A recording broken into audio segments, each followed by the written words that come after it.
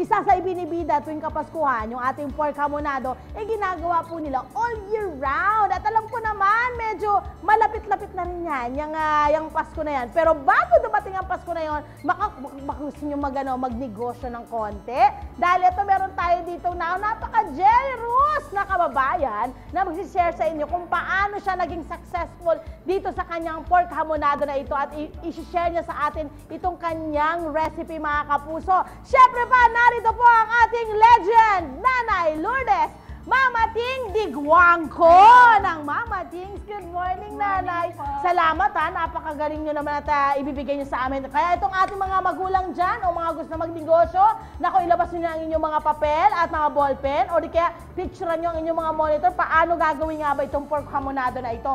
So, ang mga sangkap natin, Nanay, Mama Ting, ano yung mga sangkap natin, mga ingredients? Mga ingredients natin na asin, cheese, ham, ah, star anise, Star anise. star at anise, anong, anong, anong parte ng baboy ah, po yan? ng baboy pigi. Yan. At alam nyo ba, ang kagandahan nitong pigi na to, ang sabi ni Mama, Mama Ting, yan po ay hinihiwa na mismo ng mga nagsusupply sa kanya. So, pwede nyo rin pa itong ipagawa doon sa palengke kung sakasakaling bibili kayo. Okay, so ang gagawin nyo, Mama Ting, ah, pi- mani- ginawang manipis po yung na- ating ah, laman ng pigi. Tapos ngayon po ay lalagyan po ng asin. Nilalagyan po yan ng asin. Pagkatapos po nun ay nilagyan po ng ham. At yung ham ay nilagyan po ng cheese. Tama, Mama Ting? Opo. At tapos, sak- saka po ni Mama Ting yan, irorolyo. Okay, irorolyo ni Mama Ting yan.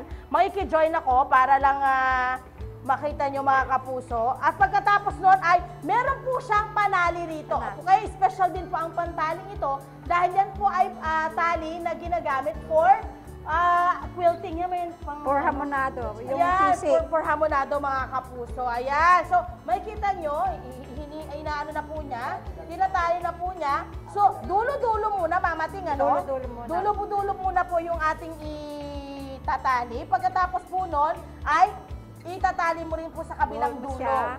Ayan.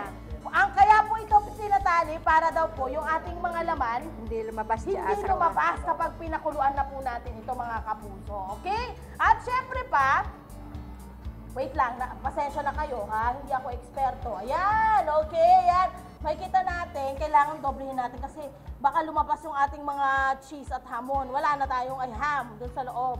Wala na. O, ayan, ako, parang hindi maganda yung pagkatali ko ah. Okay, tapos tatali po natin dito. Tapos, pagkatali po dito, bakit ang pagkatali lang sa akin?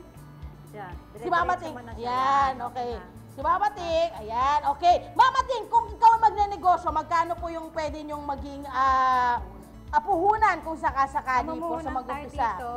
Dito, mga 1.8 pataas. 1.8, okay. 1.8 pataas. Magkano po ang kikitain nila kung sakasakali po, Mama Ting? Kikita tayo dito mga 100, 1,000 pataas din.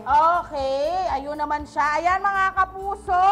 At syempre nakita na natin yung ating Pagkat pag natali na po natin, tama ba Mama Ting? Opo. Pag natali na po natin, hindi ko pa po natatali yung dulo niyan Mama Ting. Dadalhin po natin siya dito sa kanilang lutuan. Anong meron dito mga kapuso? Ito po ay, ah, meron pong pineapple juice. So, ilalagay lang po natin isa-isa. Ayan, dahil meron na po na, na iyo na, na tira. Okay na po siguro, isa na lang. Okay.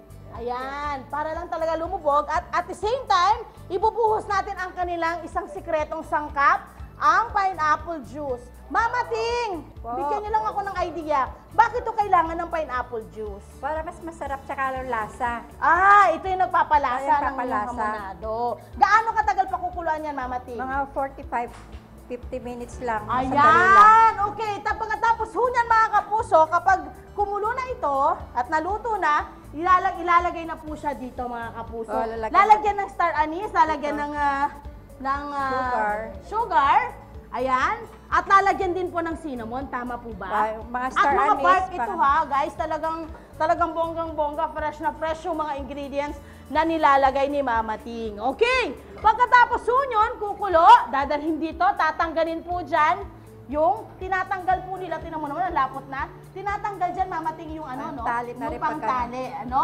At pagkatapos nun, pagkatanggal ng pantali, ilalagay na po dito mga kapuso. Ito yung magiging pinaka-ending. Ayan ang pinakain. Yan ang ready na ready na ibibenta. Pero ito Mama Ting, nilagyan nyo na ng pineapple chunks. Eh, mayroon na pang pineapple chunks. Yan, mga kapuso. At pagkatapos nun, saka po ilalagay dito. Ito na po yung inyong packaging, Ayan, Mama Ting. packaging. Ayan, so ilalagay po dyan, mga kapuso. Dalawa, Mama Ting. Dalawa. Ayan, magkano po yung dalawang pirasong yan? 260. Yan, 260 na yan? 260. Ay, bongga! So, magkano yung kikitain kung sakasakali? Pag Gaya nung, sa sinabi, 1.8? gaya nung sinabi ko kanina, nasa 100, 1,000 pataas. Ay! Sikreto, Mama Ting, para maging successful sila na kagaya mo sa ganitong klase po ng negosyo. Ayan, mga kapuso, yan na siya, di ba? So, pwedeng-pwede na po siyang ibenta. Okay, Mama Ting, maiwan ko muna kayo. Dito muna ako. Dahil syempre pa mga kapuso, kailangan nating tikman ang sikat na sikat na pork hamonado ni Mama Ting. O, tikman natin to, guys. Huwag na nating patagalin, palagyan natin ng keso at hamon. May ham din. Mmm! Grabe! Ang sarap! Lasang lasa mo talaga yung mga ingredients na pinaglalagay dyan mga kapuso. Okay! Mamaya, pasensya na po, may laman pang aking big. Ituturo pa naman po na, namin sa inyo ang iba pang luto ng mga pork hamonado. Mamaya po sa aming pagbabalik, tutok lang ho kayo sa inyong pambasang morning show ang Unang Hirit! Marikina City pa rin po tayo mga kapuso at syempre hamonado business pa rin po para ngayong, ngayong Kapaskuhan mga kapuso at kanina nga ay sinubukan ko kasama syempre ni Mama Ting yung pagro-rolyo pa rin at paggawa ng ating pork hamonado at kung paano siya itatali ng tama. Ayan, syempre pa talaga maraming proseso pong kailangang pagdaanan. Ayan, at wag niyong, wag niyong kaligtaan yung ham at yung cheese para talagang maging yummy ang inyong pork hamonado. Ito na po ang iba't ibang pagkain ng ating pork hamonado mga kapuso. Syempre pa, pwede ho natin lagyan ng ating sauce. O, di ba? Ayan, lagay po natin yung sauce. At ano ang pwedeng ka-partner ng ating ah, pork hamonado? Syempre, kanin, guys. Nako, ba? Hindi pwedeng walang kanin. Ayan, lagyan pa muna natin ng sauce to para yummy talaga itsura niya yan. At hindi lang po yan, pwede rin pong dito i-partner sa ating tinapay. Okay? Ayan, lagyan na natin. O, di ba? Mm, pak, sarap, yummy. Okay, kung meron naman pong pang pork hamonado, mga kapuso, na talaga namang hindi naman may iwasan. Nako, si Mama Ting, kanina tinuro sa atin, pwede raw naman tong gawing parang adobo. Ayan. So, nag naggisa lang po tayo ng bawang at sibuyas. Siyempre pa, ilalagay na po natin yung ating, ayan, natirang hamonado, pero dami nito, ha? In fairness, ha? Pati yung sauce, lagay nyo na rin kasi nandun yung lasa niyan. Okay, sunod po natin, lagyan na po natin ng laurel. Konting laurel. Lagyan natin ng paminta. Siyempre pa, kung paano po mag-adobo. Konting, ano to, tubig. Ayan. At syempre, toyo, toyo muna. Ha, toyo muna. Ayan. Okay. At pagkatapos ng mga kapuso, ay ilalagay po natin ang suka. Pero tandaan, hayaan lang na kumulo ha para ma, ma maluto ng husto yung suka. So hayaan natin yan. Pagkaluto po yan mga kapuso, eto na po ang kanyang magiging itsura. Napakasarap. Parang okay to ha.